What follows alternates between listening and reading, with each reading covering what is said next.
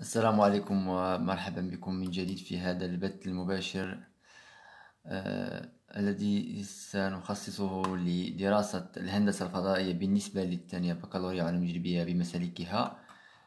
والآن مع فقرة فقرة دراسة تحليلية للفلكة بالنسبة للجزء الأول أو الفيديو الأول درسنا فيه آه، تعريف للمستوى في الفضاء ومجموعة من الخاصيات تخص المتجهات في الفضاء وكذلك المستوى. يمكنكم الرجوع إليها في الفيديو الفيديو السابق. الآن في هذا الفيديو سندرس آه، الفلكة. ما معنى الفلكة؟ الفلكة هي عبارة عن كرة في الفضاء كرة فارغة آه، نهتم بمحيطها فقط. سأرسم هنا شكل توضيحي لذلك. مثلا إذا أخذنا هذه ال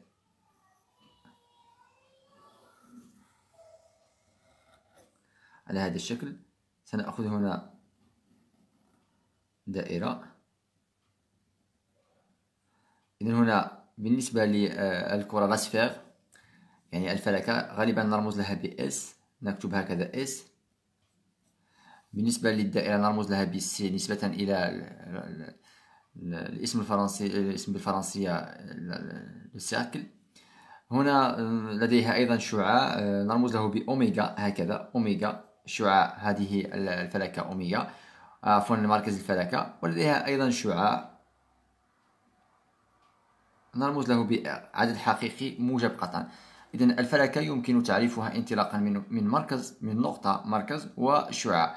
إذا نفس الطريقة بالنسبة للدائرة. الدائرة نعرفها انطلاقا من مركز وشعاع. الدائرة نعرفها انطلاقا من مركز وشعاع. نفس الطريقة بالنسبة للفلكة في الفضاء. هي عبارة عن كرة لديها مركز ولديها آه، شعاع. لكن هنا لا نهتم بما يوجد في الداخل. نهتم بالمحيط فقط كالدائرة. الدائرة هناك دائرة وهناك قرص.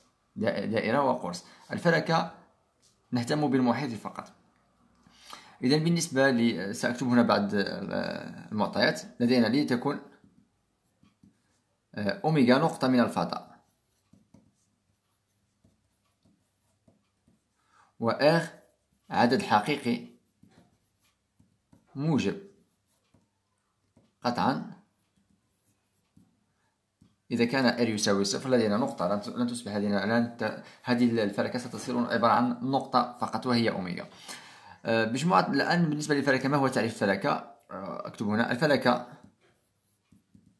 التي مركزها أوميغا وشعاعها إغ ما هي عبارة عن ماذا هذه الفلكة؟ عبارة عن مجموعة من النقط. هي عبارة عن مجموعة النقط هي مجموعة النقط التي تحقق. لماذا تحقق هذه الفلكة؟ هي مجموعة من النقط في الفضاء التي تحقق ماذا؟ بالنسبة للدائرة تحقق المسافة بينها وبين أوميغا تساوي الشعاع كل النقط التي تبعد عن المركز بنفس المسافة وهي R نفس الطريقة هنا هي مجموعة النقط M سأضع هنا M بحيث التي تحقق أوميغا M تساوي الشعاع إن كل نقطة تبعد عن المركز ب R هي تنتمي إلى الفلكة. إن الفلكة هي مجموعة ديال النقط التي تبعد عن المركز بنفس المسافة وهي هذا هو تعريف الفلكة. إن الفلكة التي مركزها أوميغا وشعاعها R هي مجموعة النقط M من من الفضاء التي تحقق أوميغا M تساوي R هذا تعريف. آه هذا بالنسبة لتعريف الفلكة. هذا تعريف الفلكة. بالنسبة للفلكة كذلك بالنسبة للدائرة الدائرة كما درسنا السنة الماضية لديها معادلة ديكارتية. أيضا الفلكة لها معادلة ديكارتية ولها معادلات ديكارتية. إن سأكتب هنا المعادلة الديكارتية معادلة ديكارتية للفلكة معادلة ديكارتية للفلكة سنبدأ بهذا التعريف للفلكة سنبدأ بالتعريف. ليكن لتكن هكذا لتكن S فلكة شعاعها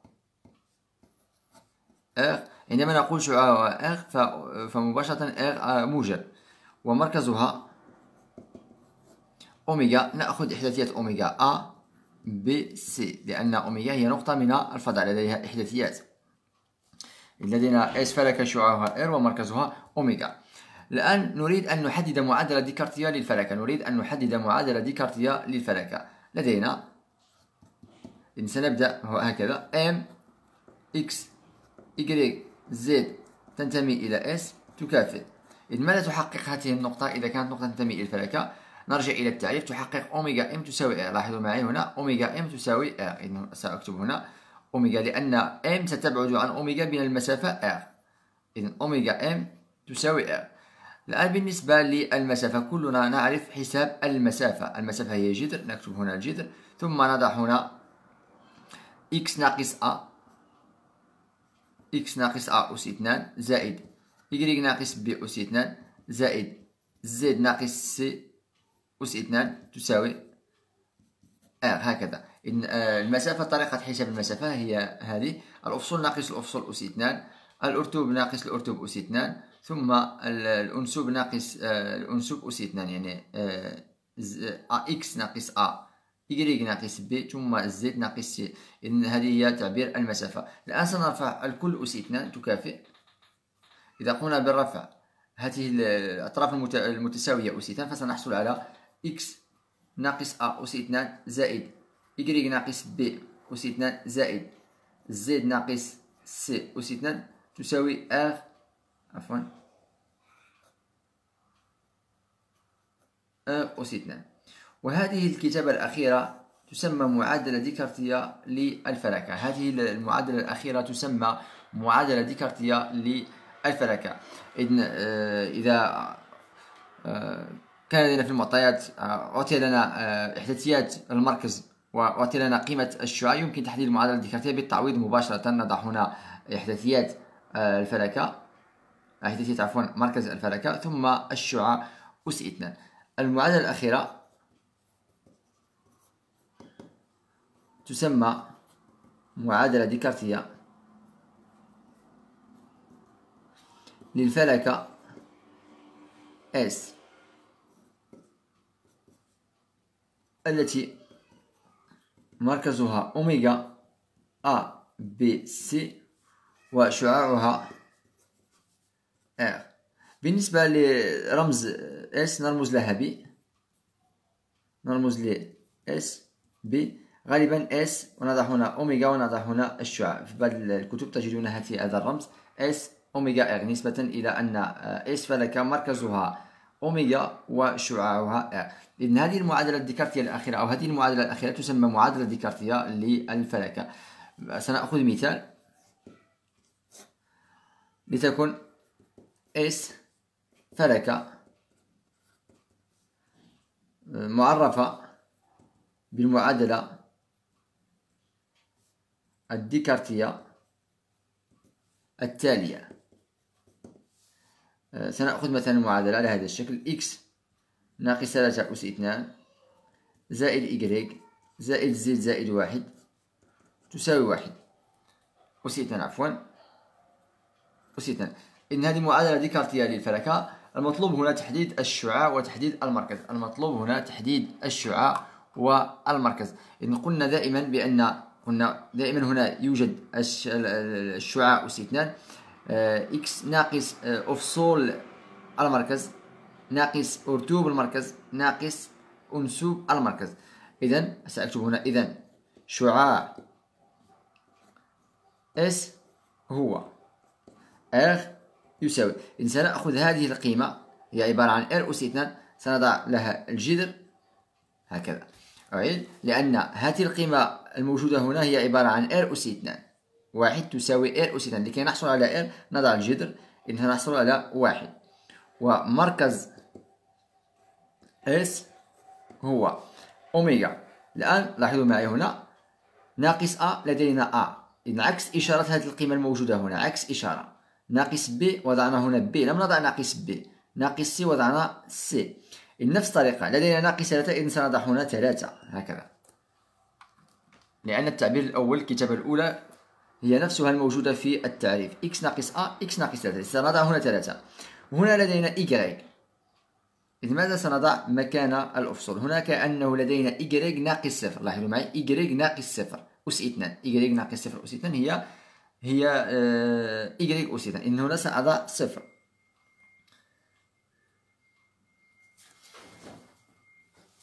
سأشرح هنا. هنا بالنسبة لهذه الكتابة كأنه لدينا x ناقص ثلاثة أس اثنان زائد y ناقص صفر أس اثنان زائد z زائد واحد أس اثنان تساوي واحد. إن هنا لدينا y ناقص صفر. Y ناقص صفر. إن سنضع هنا صفر. ثم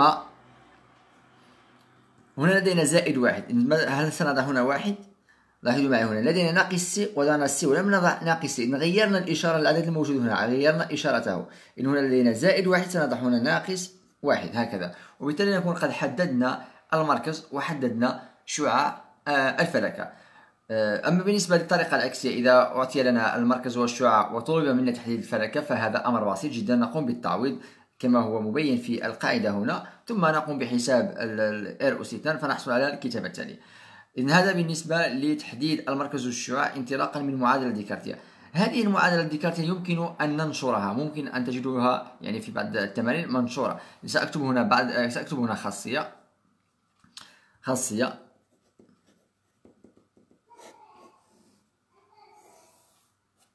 لتكن S فلك مركزها عفوا مركزها أوميغا وشعاعها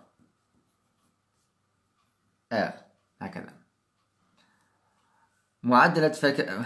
سأكتب هنا معادلة ديكارتية للفلكة S هي إن بالنسبة للمعادلة الديكارتية سأخذ هذه الكتابة الموجودة هنا. هي x ناقص a أس اثنان آه عفوا هنا.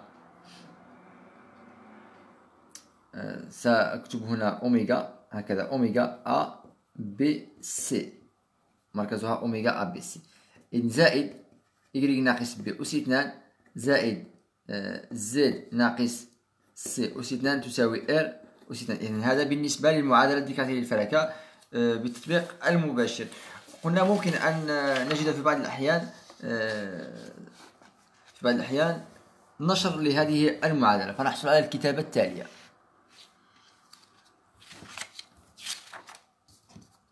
سأكتب هنا. وأيضا المعادلة وأيضا تكتب على هذا الشكل إذا قمنا بالنشر هنا فسنحصل على لاحظوا معي سنحصل على x أس 2 زائد y أس 2 زائد z أس 2 لاحظوا سنستخرج من هنا x أس 2 من هنا y أس 2 من هنا z أس 2 ثم نرتب الآن الأعداد التي تحتوي على y و z و x.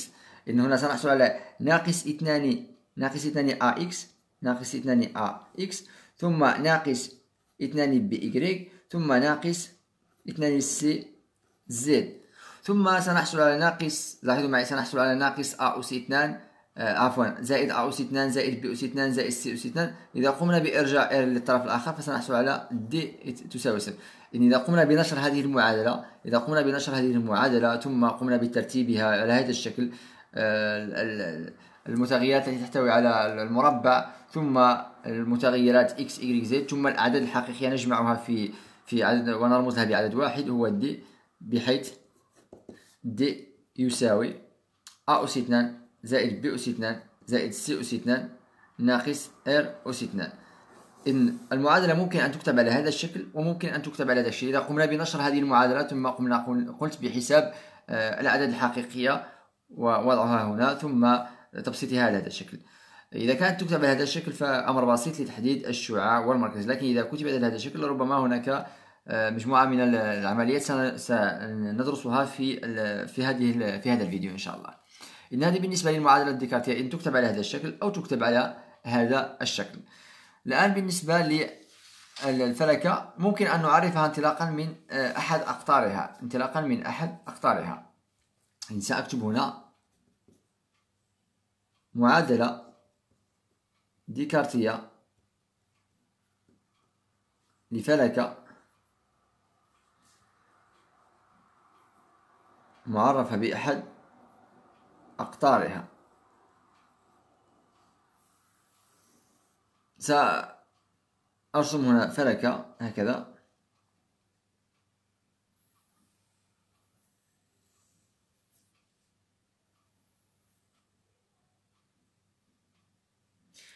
بالنسبة الآن بالنسبة للفلكة في المعطيات لدينا سأكتب هنا لتكن إس. فلكة و أب قطر للفلكة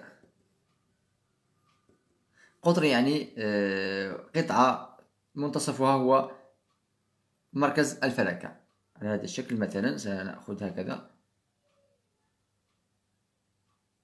مثلا هنا A ثم هنا B هكذا.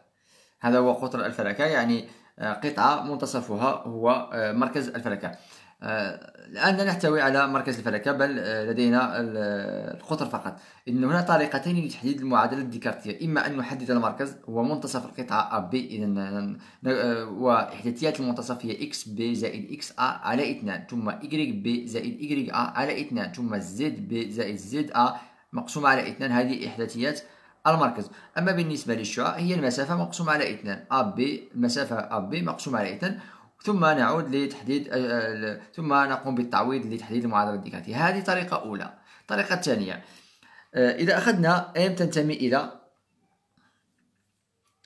إذا أخذنا M تنتمي إلى الفلكة S. إذا لدينا هنا عبارة مكافئة لهذه الكتابة. M تنتمي إلى S. إذا أخذنا مثلا M هنا M. لاحظوا معي المثلث AMB بالنسبة للنقط الآن للنقط A و B و M تنتمي إلى نفس الدائرة النقط سأكتب هنا سأرسم هنا الدائرة. إذا أخذنا الدائرة التي تحتوي على النقط A B M هكذا. دونك A B M. إذا أخذنا الدائرة فقط التي تحتوي على النقاط A و M و B لدينا هذه الكتابة. إذا ماذا يمكن أن نقول عن المثلث A B و M بما أن آه، A بقطر الدائرة فإن أي نقطة تنتمي إلى الدائرة تشكل مع النقطتين A و B آه، مثلث قائم الزاوية بمعنى أن آه، المتجهة AM عمودي على المتجهة BM هكذا. لاحظوا معي؟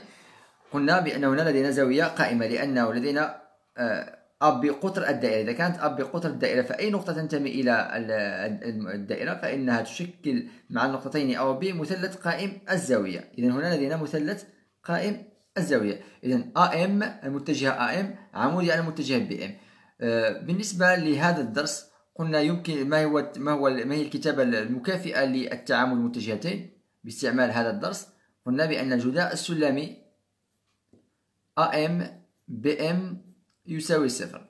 هكذا. إذا الجداء السلمي ل AM BM يساوي صفر ومن خلال هذا الجداء السلمي عند حساب هذا الجداء السلمي آه، نكون قد وجدنا معادلة ديكارتية إذ نقوم بتعويض الآن x هنا ناقص x a y ناقص y a ثم x ناقص x b ثم y ناقص y b هكذا. ثم نقوم بالنشر والحساب والتبسيط. فنصل إلى معادلة ديكارتية على هذا الشكل. إن من خلال هذه الكتابة نحصل على المعادلة الديكارتية. إن هذه الطريقة الثانية. قلنا بالنسبة للطريقة الأولى هنا في هذه الفقرة آه، نريد تحديد معادلة ديكارتية للفلكة معرفة بأحد أقطارها. لدينا القطر AB يعني أن المركز الفلكة هو منتصف AB إذن الطريقة الأولى قلت بأنه يمكن تحديد المنتصف إحداثيات المنتصف. نكتب XA زائد XB زائد آه، ليس ناقص. XA زائد XB. XA زائد XB ثم آه على اثنان ثم YA زائد YB على اثنان. هذا بالنسبة ل هنا لدينا A وليس صفر. أحد معلق لماذا تساوي صفر؟ هنا آ ليس صفر. إذا هنا قلت بأن آه، الطريقة الأولى تحديد المركز ثم الشعاع. بالنسبة للشعاع هو المسافة أب مقسوم على اثنان. المسافة أب مقسوم على اثنان وهكذا نرجع إلى آه، القاعدة الأولى. إذا كانت لدينا إذا كان إذا وجد لدينا المركز والشعاع يمكن تحديد المعادلة الديكارتية. الطريقة الثانية هو حساب الجداء المتجه على هذا الشيء أي الجداء السلمي عفوا وحساب الجداء السلمي. سنأخذ مثال لذلك. مثال. مثال لتكن S فلك قطرها ب بحيث أ احدثتها واحد ناقص ثلاثة صفر و ب اثنان اثنان واحد هكذا. هنا لدينا الطريقة الأولى سأكتب طريقة واحد هكذا طريقة واحد. هو تحديد المركز. سأكتب هنا مركز S هو أوميغا منتصف منتصف AB هكذا. مركز S هو اوميغا منتصف. AB بالنسبة لاوميغا قلنا نقوم بتحديد الإحداثيات بهذه الطريقة. اثنان زائد واحد على اثنان. ثم اثنان ناقص ثلاثة على اثنان. ثم واحد زائد صفر على اثنان. نقوم بالجمع ثم القسمة على اثنان. تكافئ تستلزم أن أوميغا إحداثيتها هي هنا لدينا ثلاثة على اثنان. هنا لدينا آه، ناقص واحد على اثنان. هنا لدينا واحد على اثنان هكذا. وشعاع R شعاع S هو R يساوي. قلنا الشعاع يساوي آه، المسافة على اثنان المسافة أب على اثنان. إذا المسافة أب على اثنان يساوي بالنسبة للمسافة الآن. نقوم بحساب المسافة. إذا نضع هنا XB ناقص XA إذن اثنان ناقص واحد. أس اثنان؟ زائد. ثم اثنان ناقص ناقص ثلاثة يعني اثنان زائد ثلاثة. أس اثنان؟ ثم واحد ناقص صفر. أس اثنان؟ ثم نقوم بحساب هذه العبارات هنا الكتابة عفوا. هنا لدينا هنا لدينا واحد أس اثنان يعني؟ آه ناقص واحد أس اثنان يعني؟ واحد زائد. هنا لدينا خمسة أس اثنان هنا لدينا واحد هكذا. إن تساوي هنا خمسة وعشرون آه، زائد اثنان سبعة وعشرون هكذا. يمكن تفكيك هذه العبارة فنحصل هنا على ثلاثة جذر ثلاثة على اثنان. إن هذا هو الشعاع ومنه نكتب ومنه معادلة ديكارتية لإس هي إن سنضع هنا إكس ناقص بالنسبة لأوميغا ناقص ثلاثة على اثنان الكل أس اثنان زائد إيجريك ناقص آه، أرتوب أوميغا هو واحد على اثنان إن سأضع هنا زائد واحد على اثنان لأن الناقص مع الناقص تصبح زائد أس اثنان. ثم بالنسبة للزد زد ناقص واحد على اثنان الكل أس اثنان. تساوي الشعاع أس اثنان. تساوي الشعاع أس ثلاثة جذر ثلاثة على اثنان الكل أس اثنان. فسنحصل على سبعة وعشرون على اثنان هكذا. إن هذه الطريقة الأولى لتحديد المعادلات الديكارتية. إن تحديد المنتصف آه، مركز الفلكة الذي هو عبارة عن منتصف القطاع أبي ثم الشعاع آه، هو هو آه، المسافة أبي طول القطر مقسوم على اثنان. هذه الطريقة الأولى. بالنسبة للطريقة الثانية قلنا يمكن أن نستعمل هذا الجداء السلمي. هذا الجداء السلمي تحديد المعادلة. سأكتب هنا طريقة واحد طريقة زوج.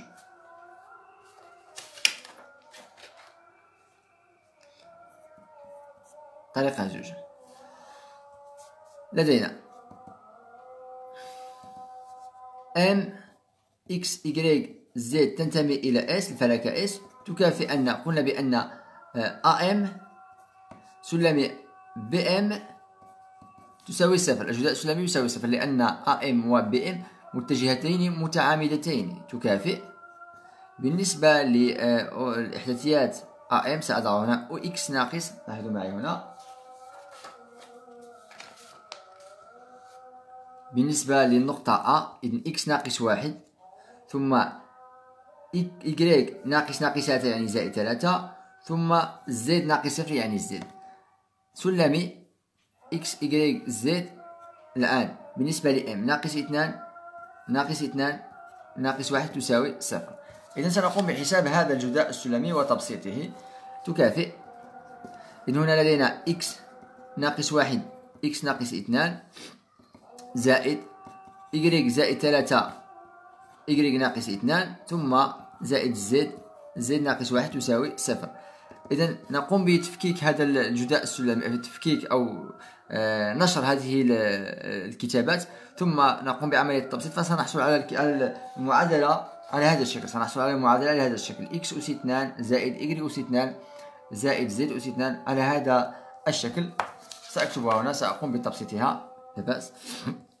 هنا x مضروب في x يعني x أس 2 x في ناقص 2 يعني تناقص 2 x ثم ناقص x ثم زائد 2 الآن بالنسبة ل y زائد y أس 2 ناقص 2 y 3 y ناقص 6 ثم z أس 2 ثم ناقص z تساوي صفر. إذن x في x x في ناقص 2 هكذا. y في y ثم y في ناقص 2 ثم 3 في y عملية النشر. تكافئ. إن سنقوم بترتيب الأعداد التي تحتوي على المربع. x أس 2 زائد y أس 2 زائد z أس 2 إن هذه الكتابة وهذه التعبير ثم هذا العدد. الآن سنذهب للأعداد التي تحتوي على x ثم y ثم z لدينا ناقص 2 x ناقص x يعني ناقص 3 x ثم ناقص 2 y زائد 3 y يعني زائد y ثم ناقص z هكذا. ثم الآن الأعداد لا تحتوي على لا x ولا y ولا z هي 2 6 2 ناقص 6 يعني ناقص 4 تساوي صفر. ونكون قد حصلنا على معادلة ديكارتية للفلكة مبسطة. هي نفسها هذه هي نفس هذه المعادلة. لو قمنا بنشر هذه المعادلة لو قمنا بنشر هذه المعادلة وتبسيطها سنحصل على هذه الكتابة في الأخير. أعيد. لو قمنا لو قمنا بنشر هذه الكتابات في طريقة واحد قمنا بنشرها وتبسيطها سنحصل على هذه الكتابة هنا. على هذا الشكل. إذن هنا آه، سيطرح لنا سؤال التالي. إذا أعطيت لنا معادلة على هذا الشكل إذا أعطيت لدي أعطيت لنا معادلة على هذا الشكل فما هي الطريقة لتحديد المركز والشعاع؟ فما هي الطريقة لتحديد المركز والشعاع؟ بالنسبة للطريقة الأولى بسيطة إذا كانت المعادلة تكتب على هذا الشكل إذا كانت المعادلة تكتب على هذا الشكل فالمركز هو A احداثيته A ثم B ثم C. والشعاع نأخذ هذه القيمة ونضعها في الجدر ثم نقوم بحساب الجدر لكن إذا أعطيت لنا المعادلة على هذا الشكل ما هي الطريقة لتحديد المركز والشعاع لأن الفلكة معرفة انطلاقا من المركز والشعاع لذلك سنذهب الآن إلى فقرة موالية وهي كالتالي دراسة مجموعة وهذه هي الفقرة المهمة في هذا الدرس في هذا في هذه في هذا الفيديو. هذه هي الفقرة المهمة. دراسة مجموعة النقط M X Y Z التي تحقق.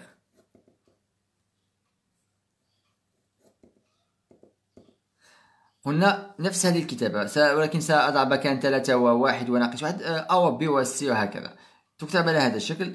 إذا هنا سأضع X أس 2 زائد y أس 2 زائد z أس 2 زائد ax زائد by زائد c z زائد d تساوي صفر لاحظوا معي بأن هذه الكتابة نفس هذه المعادلة التي وجدناها آه، في المثال السابق.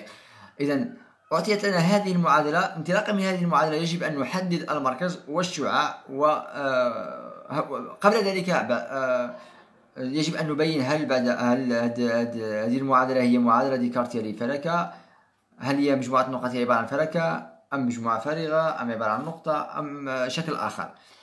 إذا في هذه الحالة لدينا طريقتين. الطريقة الأولى هي استعمال القاعدة المباشرة الموجودة في الكتاب المدرسي القاعدة المباشرة الموجودة في الكتاب المدرسي. وهناك طريقة ثانية باستعمال الشكل القانوني الشكل القانوني الذي درسناه في الجدع مشترك علمي وكذلك درسناه في الأولى بكالوريا في عند تحديد المعادلة الديكارتية للدائرة. إذن سأقوم بشرح الطريقتين معا ولكم الاختيار في استعمال إحدى الطريقتين ففي الامتحان أو في الفرض مطلوب هو استعمال إحدى الطريقتين. إذن سنبدأ بالقاعدة الأولى. خاصية. أو سأبدأ بالطريقة الثانية أفضل سأبدأ بالطريقة الثانية باستعمال الشكل القانوني. سأضع هنا تذكير لشكل قانوني. تذكير بالشكل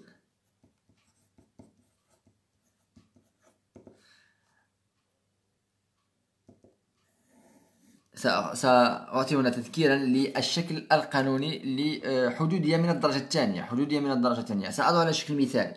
مثال واحد. مثلا إذا أخذنا هذه الكتابة. اثنان. إكس ناقص أربعة إكس آه، ناقص اثنان تساوي مثلا تساوي هكذا. هذه الكتابة يجب أن نكتب على هذا الشكل في الأخير. هكذا. إكس ناقص زائد عدد أس اثنان ثم زائد عدد هنا. هكذا. عدد حقيقي ثم عدد حقيقي. يجب أن نصل إلى هذه الكتابة. إن أول شيء نقوم به لكي نصل إلى الكتابة الشكل. إلى الشكل القانوني لأنه لاحظوا معي في المعادلة الديكارتية للفلكة يجب أن نصل إلى لاحظوا معي هنا يجب أن نصل إلى x ناقص a أس 2 إذن نفس الفكرة هنا يجب أن نصل إلى x ناقص أو زائد عدد أس 2 أو ناقص عدد. إذن هنا سأقوم بالتعميل باثنان أول شيء سأقوم بالتعميل باثنان هكذا. ثم أضع هنا x أس 2 ناقص 2 إكس ناقص واحد. سأقوم بالتغيير هنا لكي لا أقع في المشكل هنا سأضع ثلاثة في المتطابقة الهامة هكذا ثلاثة. إن قمت بالتعميل بإثنان أول شيء نقوم بالتعميل بإثنان في الشكل القانوني. تساوي. هنا نريد أن نصل إلى متطابقة هامة. بالنسبة للمتطابقة الهامة هكذا. لاحظوا معي هنا إذا وضعت x ناقص a أس 2 تساوي x أس 2 ناقص 2 ax زائد a أس 2 إن يجب أن نحصل على هذه على هذا التعبير هنا. هنا لدينا 3 x ولا, ولا يوجد لدينا 2 إذن يجب أن نضرب ونقسم على 2 ناقص 2 في 3 على 2 x ناقص 1 هكذا. قمنا بضرب والقسمة على نفس العدد. كأننا ضربنا في واحد. إذا قمنا بالاختصاص سنحصل على 3 تساوي 2 x أس 2 ناقص 2 في 3 على 2 x الآن لا نتوفر على a أس 2 بالنسبة ل a هو 3 على 2 لدينا x أس 2 ناقص 2 في 3 على 2 x بالنسبة ل a هو نفسه 3 على 2 إذن يجب أن نضيف 3 على أس 2 ثم نطرح 3 أس على 2 أس 2 هكذا نضيف ونطرح. لكي نصل إلى المتطابقة الهامة. الهدف هو الوصول إلى المتطابقة الهامة. إن زائد 3 على 2 الكل أس 2 ناقص 3 على 2 الكل أس 2 ثم ناقص 1 قمنا بإضافة وطرح نفس القيمة. قمنا بإضافة وطرح نفس القيمة. هنا ربما خطأ آه، أحدهم آه، قام بالتصحيح في في التعليق. شكرا لك. هنا أربعة لأن اثنان أس اثنان تساوي أربعة. أكمل هنا. اثنان لدينا هنا لاحظوا معي هنا لدينا متطابقة هامة هنا لدينا متطابقة هامة قلنا ب... قمنا بإضافة وطرح نفس العدد. قمنا بإضافة وطرح نفس العدد. إن هنا لدينا متطابقة هامة هي x ناقص 3 على 2 الكل أس 2 هكذا. ثم ناقص 9 على 4 ثم ناقص 1 بالنسبة لهذه الكتابة الآن آه، سأضع هنا هكذا. الآن سأقوم بعملية النشر هنا سأقوم بعملية النشر أو أضع هنا اثنان هكذا. ثم هنا لدينا ناقص ثلاثة على اثنان ناقص ثلاثة على اثنان ثم أقوم بعملية الحساب هنا. آه، إذا وضعنا هنا زائد. هنا مجموعة من التلاميذ يقعون في هذا الخطأ. يقومون بحساب هذه القيمة تسعة على أربعة ناقص واحد فيتركون ناقص خارج الحساب. لا نضع هنا زائد ثم نضع هكذا أربعة ثم نضع هنا ناقص تسعة ثم ناقص أربعة. هذه العملية الصحيحة. ناقص هي مرتبطة بتسعة على أربعة. يجب أن نضع هنا زائد ثم نضع هنا ناقص. إذن تساوي اثنان. x ناقص ثلاثة على اثنان الكل أس اثنان. ثم آه، إذا قمنا بحساب هذه القيمة فسنحصل على ناقص ثلاثة عشر على أربعة. وممكن الآن أن نقوم بعملية النشر x ناقص ثلاثة على اثنان الكل أس اثنان. ناقص اثنان في ثلاثة عشر على أربعة هي ثلاثة عشر على إثنان. هذه هذه الطريقة قمنا بدراستها في الجذع العلمي وكذلك في الأولى بكالوريا. لذلك لن أقوم بشرحها أكثر. هذا بالنسبة للشكل القانوني. يجب أن نصل إلى هذه الكتابة. في الشكل القانوني يجب أن نصل إلى هذه الكتابة. هذا ما نحتاجه في هذا في في هذه الفقرة. لكي ندرس مجموعة النقاط التي تحقق هذه المتساوية. إن سأكتب هنا.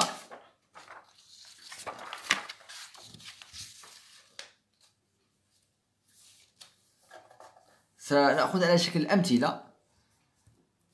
لكي ندرسها آه، أحسن سأخذ أمثلة. هكذا. آه، لنحدد. المثال الأول لنحدد مجموعة النقط ام إكس y z من الفضاء التي تحقق. آه، سأخذ تعبيرا معينا. مثلا x أس 2 آه، زائد y أس 2 زائد z أس 2 هكذا. ثم ناقص ناقص 2 x زائد أربعة y. مثلا على هذا الشكل. ثم مثلا نأخذ هنا آه، تساوي صفر هكذا. مثلا أخذنا هذا التعبير. فهذا التعبير هو نفسه هذا التعبير الموجود هنا. لأن ال d تساوي صفر لاحظوا معي ال d تساوي صفر. آه، لا توجد لنا ال z يعني أن ال c تساوي صفر ال c مضروبة في ال z تساوي صفر وهكذا. إذن يجب نريد أن نحدد مجموعة النقط التي آه، تحقق هذه المعادلة. إذن لدينا. سنستخدم الشكل القانوني. الذي شرحناه قبل قليل. لدينا سأبدأ هنا x أس 2 زائد y أس 2 زائد z أس 2 ناقص 2 x زائد 4 y تساوي. الآن سأقوم بترتيب هذه العمليات. آه، سأضع 2x أمام x أس 2 و4y أمام y أس 2 فأكتب هنا x أس 2 ناقص 2x ثم زائد y أس 2 ثم زائد 4 y ثم زائد z 2 تساوي صفر هكذا. إذا قمت بعملية الترتيب وضعت 2x ناقص 2x أمام x أس 2 ثم 4y أمام y أس 2 تساوي. سنذهب إلى هذه التعابير ونحولها إلى الشكل القانوني. سنحول هذين التعبيرين إلى الشكل القانوني. إذن هنا سأضع هنا لاحظوا معي x أس 2 ناقص 2x هنا متطابقة هامة معروفة هكذا. لاحظوا معي x أس 2 ناقص 2 x زائد 1 تساوي x ناقص 1 أس 2 إن يجب أن نضيف واحد ونطرح واحد لكي نصل إلى هذه المتطابقة الهامة. أعيد. X أس 2 ناقص 2 y زائد 1 هي نفسها x ناقص 1 أس 2 إذا يجب أن نضيف واحد ونطرح واحد. هنا سأضيف واحد وأطرح واحد. نذهب إلى الثانية. هنا آه، يمكن التعميل بإثنان. لا نضرب في إثنان ونقسم على إثنان. متى نضرب في إثنان ونقسم على إثنان؟ إذا كان لدينا عدد فردي. لاحظوا معي هنا لدينا عدد فردي. ثلاثة عدد فردي. ليس عدد زوجي. إن يجب أن نضربها في إثنان ونقسم على إثنان. أما هنا فأربعة عدد زوجي. يمكن أن آه، أن نفكك هنا. وأكتب y أس إثنان. هكذا. زائد إثنان في إثنان y. لاحظوا معي أربعة هي اثنان في اثنان والآن حصلنا على اثنان الآن بالنسبة لإجري آ هي إجري ثم الآن ب هي اثنان. إذن سأضع اثنان أس اثنان ناقص اثنان أس اثنان هكذا. ثم زائد زد أس اثنان تساوي صفر. لاحظوا معي هنا هذه الكتابة. هي نفس هذه الكتابة هي نفس هذه الكتابة. قمت بإضافة واحد وطرح واحد.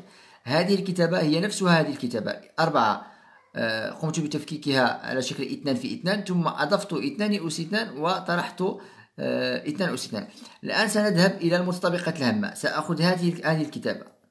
هي عبارة عن متطابقة هامة. X ناقص واحد الكل أس اثنان. بالنسبة لهذا التعبير سأخذ هذا التعبير. هنا. Y أس 2 آه، عفوا لقد أضفت هنا y أس 2 سأقوم بالتشطيب عليها. هكذا. سأخذ هذا التعبير هنا. y أس 2 زائد 2 في 2 y زائد 2 أس 2 هذه متطابقة هامة. متطابقة هامة. إن سأكتب زائد y زائد 2 الكل أس 2 بالنسبة للزد ستبقى هكذا زد أس 2 ثم ناقص واحد. ثم ناقص أربعة تساوي صفر. إن تساوي إن تساوي هنا إكس ناقص واحد. آه، في الحقيقة يجب أن نضع هنا التكافؤ أحسن.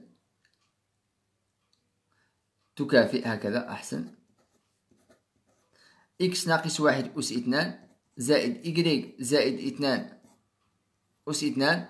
هنا زائد زد أس اثنان تساوي سأقوم بإرجاع آه، هنا لدينا خمسة خمسة أرجع للطرف الآخر فأحصل على ناقص خمسة أرجع للطرف الآخر فأحصل على خمسة. إن وجدنا هذه المعادلة وجدنا هذه المعادلة. هنا عندما نصل إلى هذه المعادلة فيجب أن آه، ندرس إشارة هذا العدد. إذا كان هذا العدد موجب كما هو الحال بالنسبة لهذا المثال فإن هذه المعادلة هي معادلة فلكة أما إذا كان هذا العدد سالم مثلا نفترض أنه وجدنا هنا ناقص خمسة لاحظوا معي عدد موجب زائد عدد موجب زائد عدد موجب يعطينا عدد سالب. لا يمكن. في هذه الحالة نقول بأن مجموعة النقط هي عبارة عن مجموعة فارغة. أعيد. عندما نصل إلى هذه الكتابة في الأخير باستعمال الشكل القانوني فنصل إلى هذه الكتابة يجب أن ندرس إشارة هذا العدد. إذا كان عددا موجبا فإن مجموعة النقط هي عبارة عن فلكة. أما إذا كان سالبا فمجموعة النقط هي عبارة عن مجموعة فارغة. أما إذا كان صفر فمجموعة النقط هي عبارة عن نقطة. سندرسها ندرس الحالتين المتبقيتين. في هذه الحالة سأكتب بما أن خمسة موجب. لماذا؟ لأنه في المعادلة الديكارتية للفلكة لاحظوا معي هنا. بالنسبة للمعادلة الديكارتية يجب أن نجد هنا R أس 2 لكي نقول بأن هذه المعادلة معادلة ديكارتية R أس 2 هل هو عدد موجب أم سالب؟ وعدد موجب بطبيعة الحال. إذا نفس الشيء هنا. يجب أن نصل إلى عدد موجب. إذا وصلنا إلى عدد سالب فلا يمكن. نقول بأن مجموعة النقط هي عبارة عن مجموعة فارغة. لا يمكن أن يكون R 2 يساوي عدد سالب. بما أن آه، خمسة أكبر من صفر فإن مجموعة النقط آه، نسميها مثلا هكذا. مجموعة آه، نحدد مجموعة النقاط. نسميها مثلا هكذا جاما. فإن جاما هي عبارة عن فلكة شعاعها R يساوي إن جذر خمسة هكذا جذر خمسة. شعاعها يساوي جذر خمسة. ومركزها أوميغا إحداثيته ناقص واحد يعني واحد ثم ناقص اثنان ثم صفر. هنا لدينا يجب أن نضع دائما عكس الإشارة ناقص اثنان ناقص واحد نضع هنا واحد ثم هنا كأنه لدينا زد زائد صفر أو ناقص صفر إذ نضع هنا صفر. إذا حددنا الشعاع والمركز الفلكة. إذن هذه الحالة الأولى إذا كان العدد الموجود هنا عددا موجبا. إذ قلنا ممكن أن يكون عددا سالبا أو عددا يساوي عدد منعدم سنأخذ المثال الثاني ثانيا. لنحدد مجموعة نسميها جاما مجموعة النقط إكس y z من الفضاء التي تحقق إكس أس 2 مثلا إكس أس 2 زائد y أس 2 دائما هذه الكتابات دائما متواجدة. دائما يجب أن نجد هنا x أس 2 y أس 2 z أس 2 أما بالنسبة ل x و y و z ممكن أن نجد x و y ممكن نجد x و z ممكن نجد z ممكن نجد نجد هنا صفر وهكذا. ناقص x زائد 2 y. زائد عشرة مثلا سنأخذ مثلا زائد عشرة.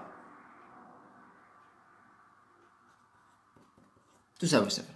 الآن سندرس هذه المعادلة. وس في الأخير إما أن تكون عبارة عن معادلة فلكة أو مجموعة فارغة أو نقطة كما قلنا. هنا وجدنا بأن خمسة موجب إذن قلنا بأن فلكة. لدينا. إن سأكتب هنا تكافئ هكذا مباشرة أحسن. بالنسبة لهذه الكتابة سنرجعها إلى الشكل القانوني سنحولها إلى الشكل القانوني. إن سأكتب هنا x أس 2 ناقص x سأضع ناقص x أمام x أس 2 ثم y أس 2 أمام آه، أمام y هكذا.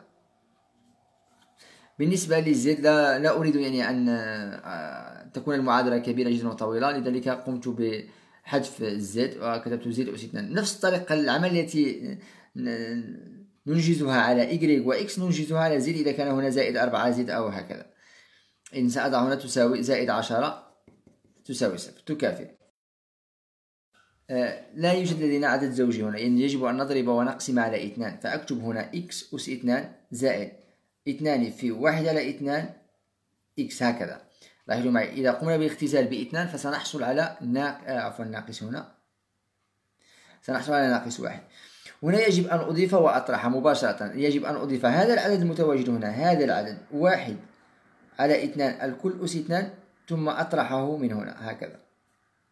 أضيف وأطرح نفس العدد المتواجد هنا. ثم زائد. الآن أذهب إلى y بالنسبة ل y أس اثنان زائد اثنان y لدينا اثنان في واحد في y اثنان في واحد في y إذن سأضيف واحد أس اثنان وأطرح واحد أس اثنان هكذا. لأنه لدينا هنا لاحظوا معي متطابقة هامة هنا.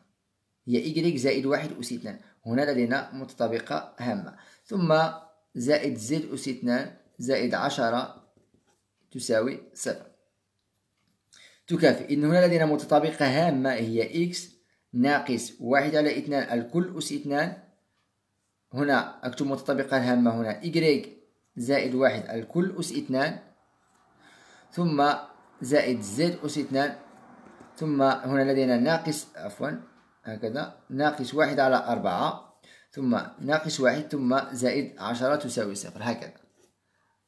تكافئ. سأعيد كتابة هذه التعابير سأقوم بتوحيد المقام هنا وأضع زائد دائما لكي لا نخطئ نضع هنا زائد ثم ناقص نضعها مع واحد فأكتب هنا ناقص واحد ثم ناقص أربعة ثم زائد أربعة. نقوم بالضرب في أربعة. تساوي صفر. تكافئ. إكس ناقص واحد على اثنان. الكل أس اثنان زائد إجريك زائد واحد. الكل أس اثنان ثم زائد زد أس اثنان. إذا قمنا بحساب هذه العمليات فسنحصل هنا على خمسة. خمسة وثلاثون إذن زائد خمسة وثلاثون. إذا قمنا بإرجاعها للطرف الآخر إذا قمنا بإرجاعها للطرف الآخر فسنحصل على هذه الكتابة. ناقص خمسة وثلاثون على أربعة. إذا قمنا بإرجاعها للطرف الآخر سنحصل على ناقص خمسة وثلاثون على أربعة. إذن هنا لاحظوا معي هذا العدد سالب. هذا العدد موجب أس اثنان عدد موجب أس اثنان زائد عدد موجب أس اثنان هل يمكن أن يساوي عدد سالب؟ لا يمكن أن يساوي عدد سالب. عدد موجب أس اثنان زائد عدد موجب أس اثنان زائد عدد موجب أس اثنان يعطينا عدد سالب. هذا لا يمكن. أصغر قطعا من صفر. إذا M هي مجموعة فارغة. ونكتب هكذا. تساوي مجموعة فارغة. يعني إذا وجدنا هذا العدد سالب إذا وجدنا هذا العدد سالب نضع هنا جاما تساوي مجموعة فارغة. مجموعة النقط هي مجموعة فارغة. بمعنى لا توجد أي نقطة تحقق هذه المعادلة. لا توجد أي نقطة تحقق هذه المعادلة. إذا هنا الحالة الثانية. إذا الحالة الأولى إذا كان العدد موجب نقول بأن جاما هي عبارة عن فلكة شعاعها جذر هذا العدد ومركزها نأخذ المركز هنا مقابل آه، العدد مقابل هذا العدد هنا لدينا زد ناقص صفر نضع هنا صفر. أما إذا وجدنا هذا العدد سالب فنقول بأن مجموعة النقاط هي عبارة عن مجموعة فارغة. إذا هذه الحالة الثانية. الآن ندرس الحالة الأخرى. مثال ثاني. مثال ثالث عفوا. ثالثا لنحدد جاما مجموعة النقط M X Y Z من الفضاء التي تحقق. نأخذ هذه الكتابات مثلا.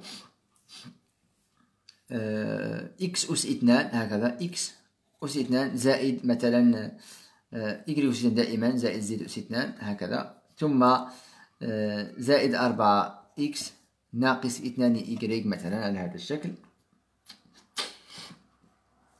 آه، ثم زائد اثنان زد هكذا على هذا الشكل. ثم نضع هنا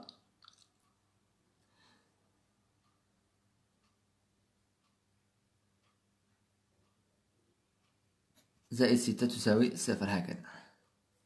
على هذا الشكل مثلا تكافئ الآن نفس الطريقة سنقوم بتحديد الأشكال القانونية. سنقوم بالترتيب على هذا الشكل. X أس 2 زائد 4 x ثم زائد y أس 2 مع ناقص 2 y ثم z مع زائد z أس 2 ناقص 2 زائد 2 z زائد ستة تساوي صفر. قمنا بترتيب هذه القيم. الآن هنا يجب أن نستخرج منه الشكل القانوني. الشكل القانوني لهذه الكتابة تكافئ.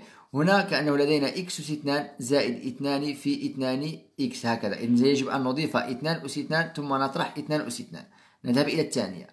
Y أس 2 ناقص 2 في 1 y هكذا. إذن يجب أن نضيف 1 أس 2 وأطرح 1 أس 2 أه سأتمم هنا في السطر.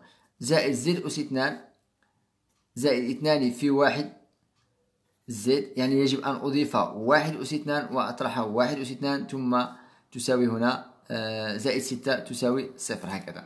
أعيد. هنا قمت بتفكيك 4 2 في 2 لكي نصل إلى المتطابقة الهامة هذه المتطابقة الهامة يجب أن أضيف هذا العدد أس 2 ثم نطرحه نفس الطريقة. هنا لدينا واحد يجب أن أضيف واحد 2 وأطرح واحد. هنا لدينا واحد يجب أن أضيف واحد 2 وأطرح واحد 2 ثم أضيف زائد 6 إن هنا لدينا متطابقة هامة هنا متطابقة هامة هنا أيضا متطابقة هامة. إن تكافئ. هنا x زائد 2 الكل أس 2 ثم هنا لدينا y ناقص واحد الكل أس 2 ثم هنا لدينا z زائد واحد الكل أس اثنان ثم نقول نقوم الآن بحساب هذه الكتابات. ناقص اثنان يعني ناقص أربعة ثم ناقص واحد ثم ناقص واحد ثم زائد ستة تساوي صفر. إن تكافئ.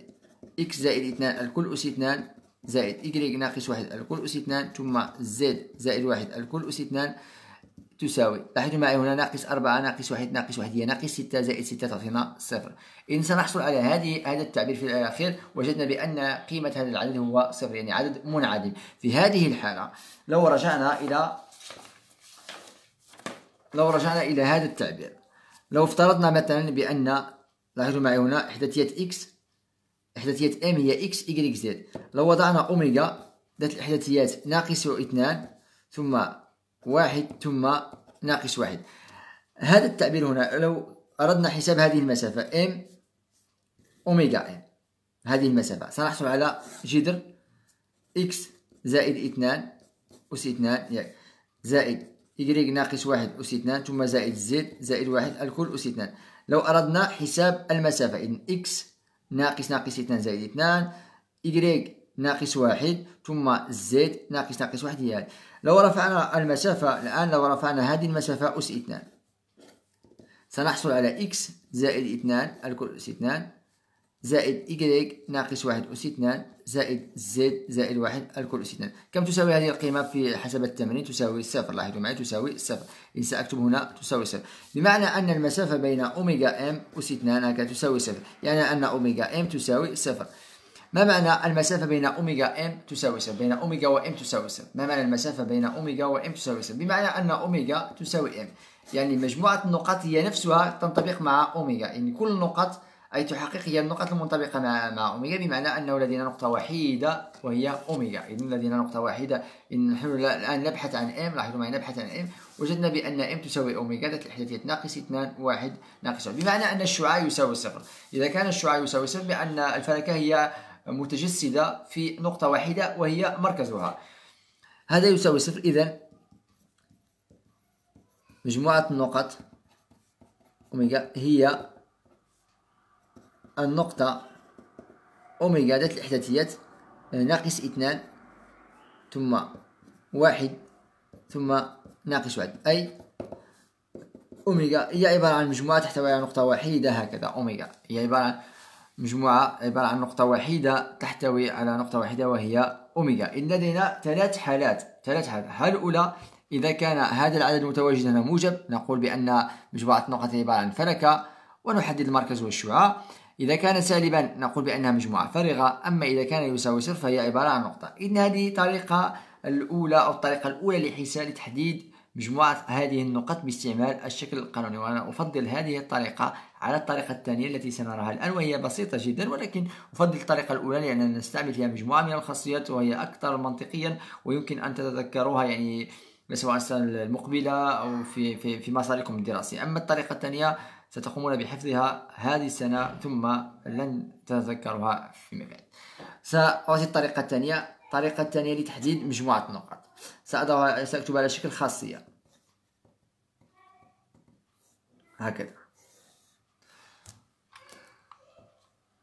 إن سأكتب هنا لتكن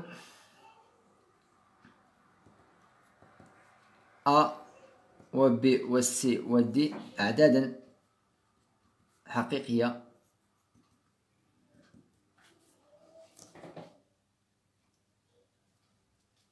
تكون أ و و سي أعداد حقيقية. و اس مجموعة نقط. M x y z من الفضاء. هذه الطريقة الثانية المركز آه، والشعاع الفلكي بدون استعمال الشكل القانوني. الفضاء التي تحقق إكس أس اثنان زائد إكريك أس اثنان زائد زد أس اثنان زائد a x زائد b y زائد c z زائد d تساوي صفر. قلنا هذه الطريقة الثانية بدون المرور بالشكل القانوني. هذه الطريقة الثانية يعني هناك سأعطيكم هنا قواعد مباشرة موجودة في الكتاب المدرسي قواعد مباشرة تقومون بحفظها ثم تطبيقها تطبيقا مباشرا. آه الآن آه لدينا نضع سأكتب هنا نضع أو أو قبل ذلك لدينا ثلاث حالات. قلنا لكي نحدد مجموعة النقاط لدينا ثلاث حالات كما رأينا في الطريقة الأولى لدينا ثلاث حالات إما أن تكون عبارة عن فلكة هذه مجموعة النقاط إما أن تكون مجموعة فارغة أو إما أن تكون نقطة كما رأينا في المثال الأخير. إن لدينا ثلاث حالات سأكتب هنا الحالة الأولى. إذا كان إذا إذا لكي نعرف هل هي عبارة عن فلكة أو مجموعة فارغة أو نقطة يجب أن نحسب هذا هذه القيمة. أ أس 2 أ أس اثنان زائد ب أس اثنان زائد س أس اثنان ناقص أربعة دي هذا هو العدد الموجود سيكون هنا في الأخير. هذا هو العدد الذي سيكون في الأخير. إذا كان هذا العدد موجب قطعا نأخذ هنا أ أس اثنان ب أس اثنان معامل إكريك ثم معامل زد أس اثنان ناقص أربعة مضروب في هذا العدد. إذا كان هذا موجب قطعا فإن إس هي فلك مركزها أوميغا. ونأخذ هذه القيم. آه، هنا بالنسبة لأوميغا. ناقص أ على اثنان. ثم ناقص ب على اثنان. ثم ناقص سي على اثنان. هكذا. لاحظوا معي؟ ناقص أ على اثنان ناقص ب على اثنان ناقص سي على اثنان. هذه بالنسبة وشعاعها R يساوي. سنأخذ جذر هذا العدد مقسوم على اثنان. سأكتب هنا.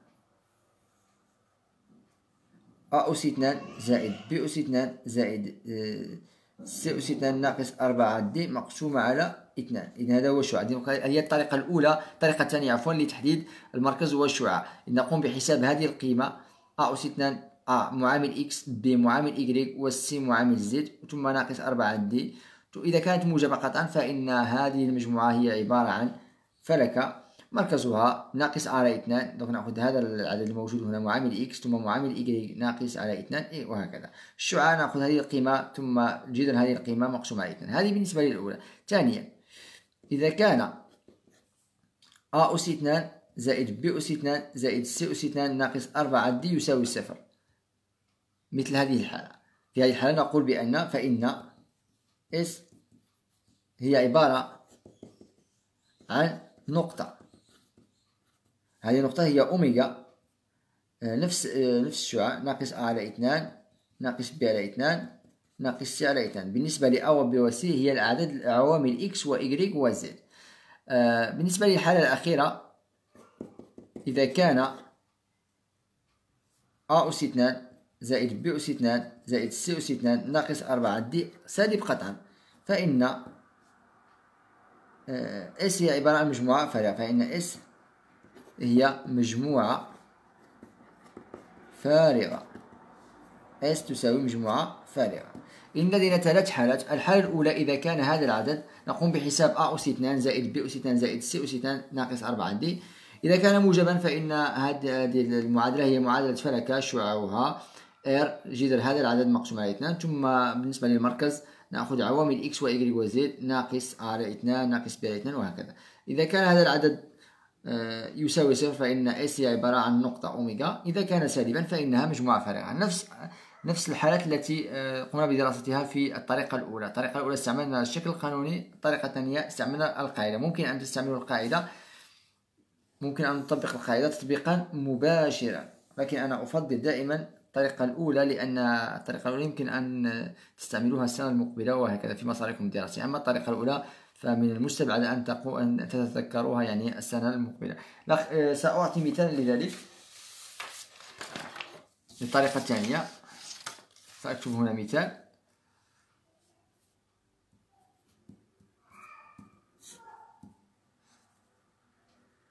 لنحدد جاما مجموعة النقط M X Y من الفضاء.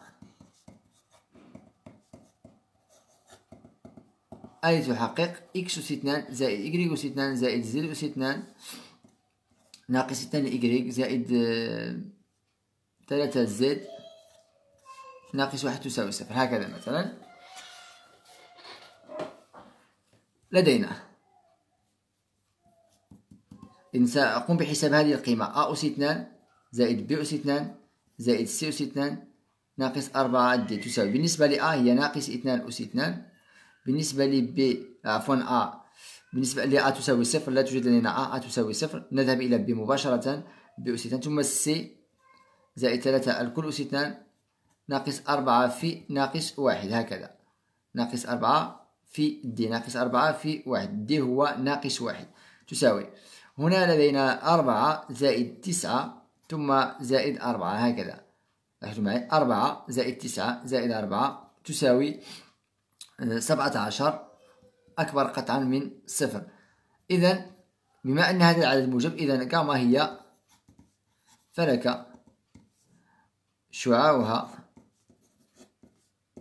R يساوي. إن سنقوم بوضع هنا هذا العدد الذي قمنا بحسابه مقسوم على اثنان هذا هو الشعاع. ومركزها هنا ليس لدينا أي تبسيط. إذا كان هناك تبسيط يمكن أن نبسط ونختزل. ومركزها أوميغا. إن سنأخذ ناقص أ على اثنان ثم ناقص ب على اثنان ثم ناقص سي على اثنان أي أوميغا. بالنسبة لناقص أ قلنا بأن أ تساوي صفر لأن هناك أنه لدينا صفر مضروب في x صفر مضروب في إكس لا توجد لدينا إكس يعني صفر مضروب في x أو سأضع صفر. ثم ناقص ب يعني ناقص ناقص اثنان على اثنان. ناقص اثنان ناقص ناقص اثنان زائد اثنان على اثنان. ثم ناقص يعني ناقص ثلاثة على اثنان. أي أوميغا صفر ثم واحد ثم ناقص ثلاثة على اثنان. ونكون قد حددنا مركز آه، الفلكة ثم شعاع الفلكة. الطريقة الثانية سهلة بسيطة. ممكن أن تستعملوا الطريقة الثانية. بالنسبة لتحديد المركز والشعاع إن هذه بالنسبة للحالة الأولى إذا كان موجب قطعا هناك حالة ثانية ممكن أن يكون سالبا قطعا وحالة ثالثة إذا كان يساوي صفر إذا هناك مجموعة من الحالات. أنا سأكتفي آه، في هذا الفيديو بهذا المثال بالنسبة للقاعدة وسأنشر لكم آه، تمرين في هذا في هذه الفقرة. سنجيب عليه إن شاء الله في الفيديو المقبل. والسلام عليكم ورحمة الله وبركاته.